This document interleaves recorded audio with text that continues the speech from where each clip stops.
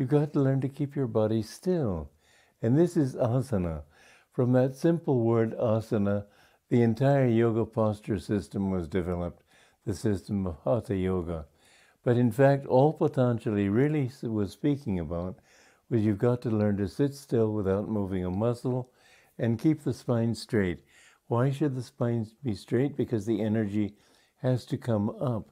And so what what happens is that when your body is completely still, you can withdraw into yourself. You can't worship God like a holy roller, uh, rolling in the aisle and thinking God is pleased with this outward action. You've got to go within, offer yourself up to God.